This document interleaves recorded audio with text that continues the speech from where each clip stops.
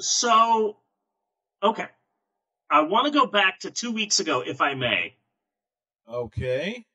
So, two weeks ago, we did the obscure sci fi channel Shitburger Stonehenge Apocalypse, Yes.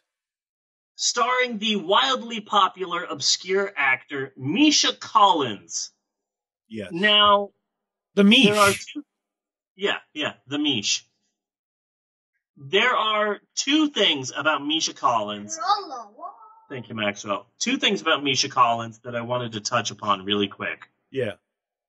First off, number one, Misha is known for his role as Castiel, uh, or Cass, in the show Supernatural, which is soon to start its 89th season.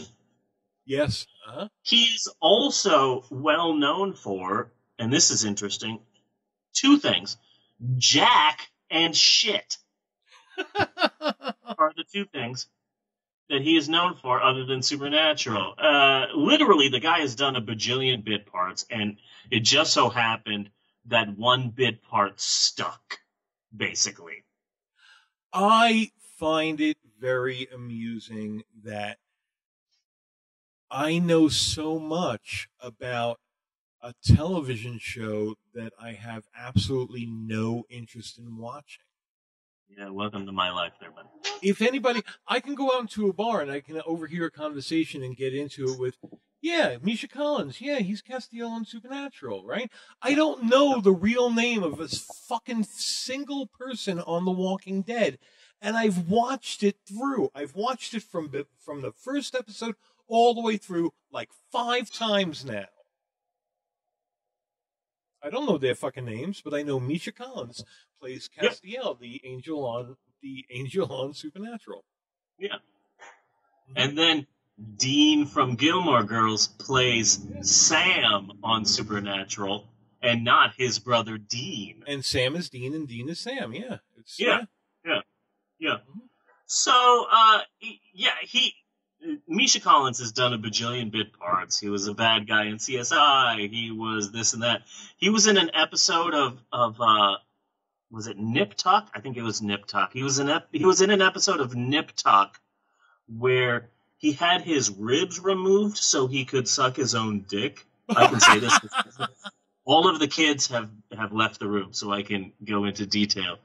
So he goes to plastic surgeons to see if he can get the rib put back in his body because it's it, it's become too much of a temptation to suck himself off. He just spends all of his time doing it.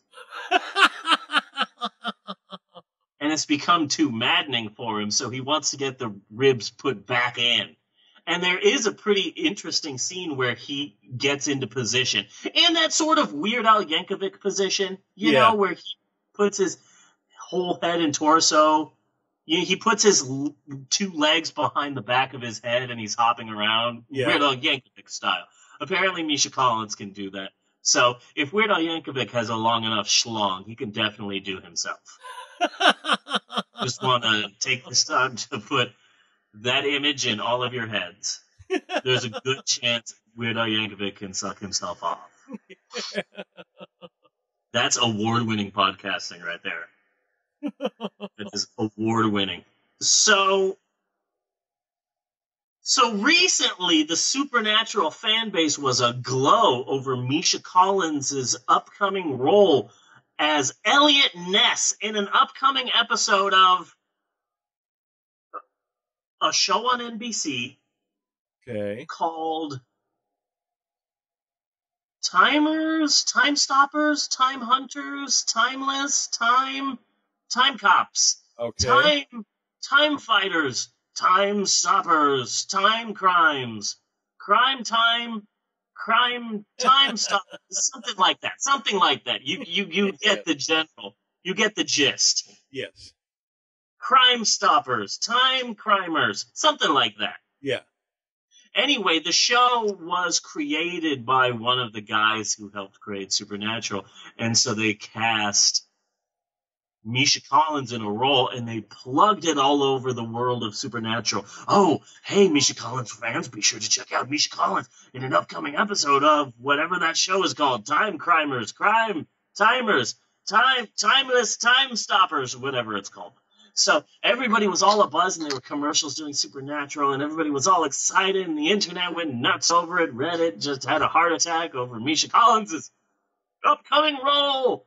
And so, of course, Natasha had to watch the episode, and she was all excited to watch this episode of Time Crimers, Crime Timers, Time, Time, Time Travels, Crime Stoppers, whatever the hell the show is called.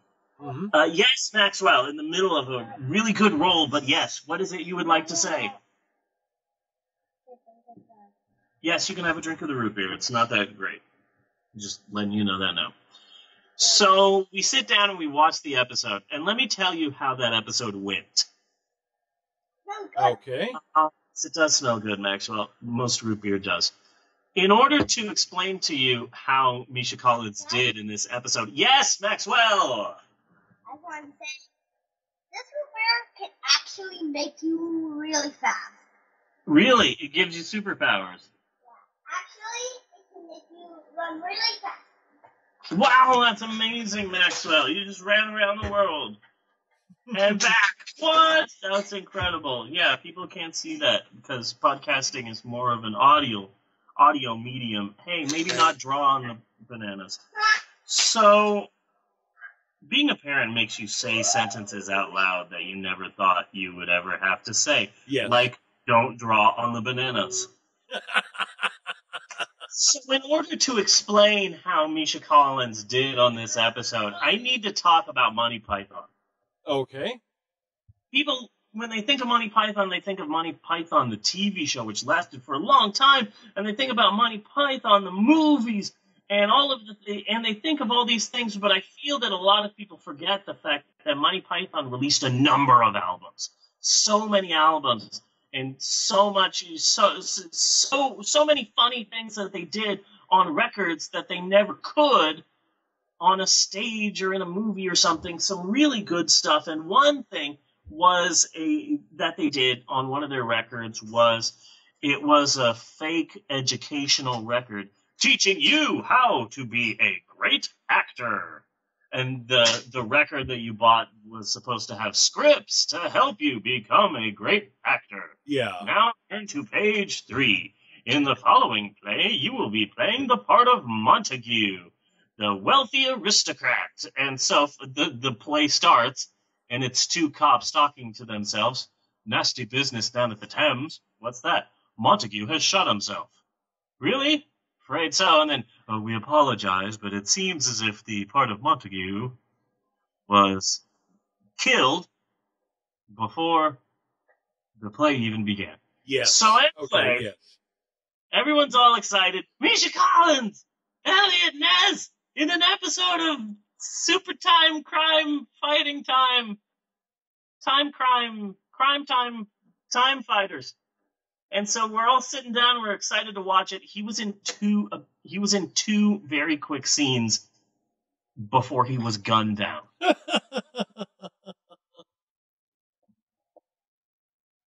and that was it.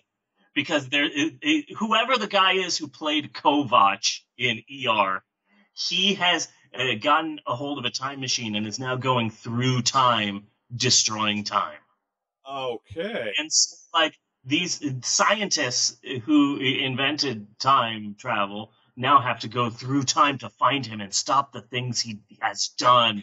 And there's nothing original about the show at all. The only thing that's even Which sounds exactly like uh, Legends of Tomorrow. Yeah, that's why I haven't bothered to fully remember the name of the show. I know I could look it up, but it's it, the show doesn't. The show hasn't earned my effort. Yes. So time, crime, crime, time, timeless, time, fighter times. Yeah, he's in two scenes and then he's killed, and so that was hilarious. I just want I wanted to bring I wanted to bring that story up about super time, crime time, fighting time. During Well, I'm I'm wondering if uh, has has Tasha seen that? Has Tasha seen what that episode of Super Time, Crime Yes. Time, Fighting Time? Yeah. Oh yeah, she saw the episode. We all saw it together, and we were so excited to see Misha Collins. And then he literally died like ten minutes into the episode, and, and it, you know, she was pissed, and the fandom was pissed because it's obvious that like, oh god damn it, it's obvious that this show was suffering and this show was hurting in the ratings, and the, they knew that they could get the supernatural fandom behind this show by putting one of the supernatural guys on the show. This is this is crass. They Yeah. were just using us, and we're all pissed off, and we're never gonna watch this show again. Although I really do want to see what happens in the next episode. God damn it! I guess we're watching Super Crime Time Fighting Crime now, and we did end up watching like two or three episodes. Well- so they did get us. I, I'm I'm wondering if um if he was wearing his supernatural clothes. I don't know. I can tell you, he wasn't sucking himself off. Like Right. like did he do that? Did he like hop over to the next set and That's do that point. on his lunch break? Yeah, I'm assuming that I'm assuming that the show was filmed in Canada. I assume everything is filmed in Canada now. Yeah. Canada is the new Hollywood. Yes. Vancouver is the new Hollywood. hmm So I just wanted to bring that up during the Stonehenge Apocalypse episode, and I forgot. So that's number one. Next is part B. So Misha Collins has had a strange life, including being an intern at the White House during the Clinton administration. So I was listening to our Stonehenge Apocalypse episode. It's a good episode, by the way.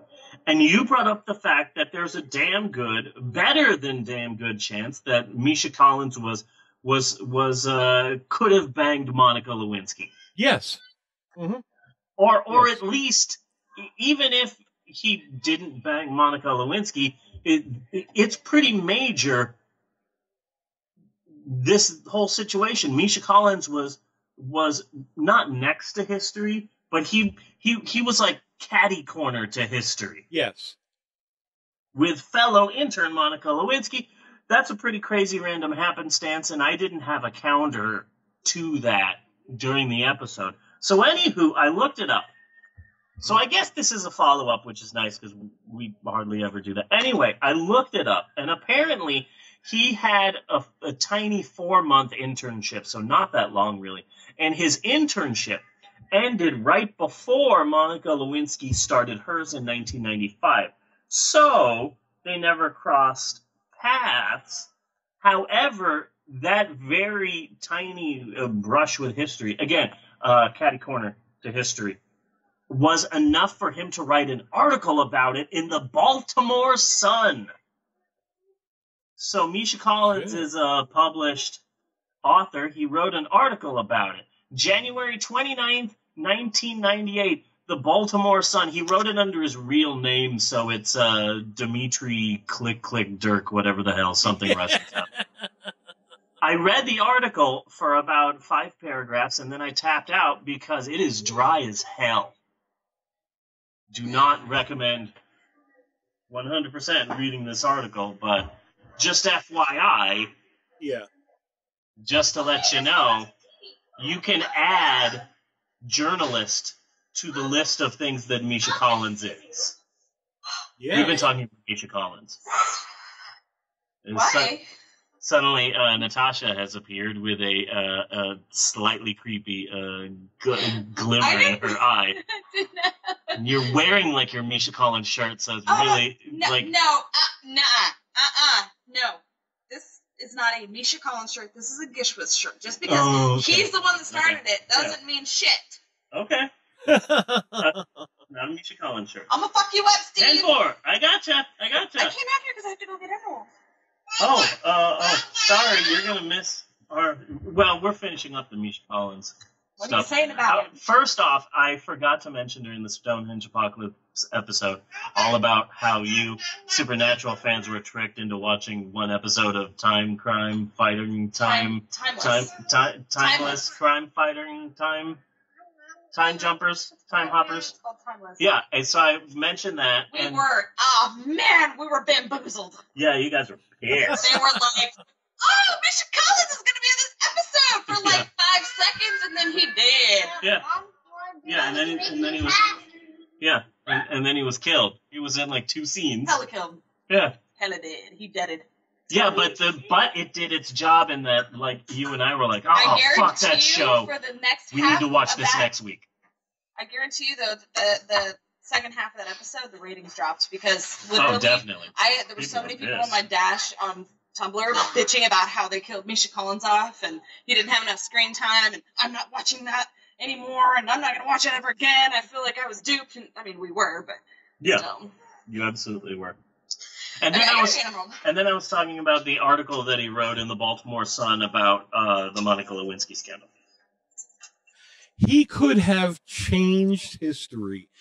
He had the potential of changing history if he would have fucked Monica. Yep. That that whole thing couldn't may not have happened. That's a good Or, you know, if he would have just sucked Bill off himself.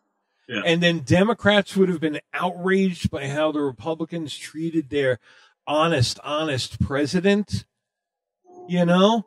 So it would have been a landslide victory for Gore. So basically, Thanks, we Mr. ruined Collins. America. Yeah. No, didn't. Fuck off. We wouldn't have had President Trump if Misha Collins had just banged an, a fellow intern. Way to go, me, Dimitri Click Click Dirk, whatever the hell. Yeah. Big What's his name? What's big his name? perv? What's his name? You want to correct me? You want to correct me so bad? What's his name? Dmitry Kasparov. Yeah. I mean, we already we already know what kind of a giant perv he is, okay? He couldn't fuck one chubby intern Yeah. for his country?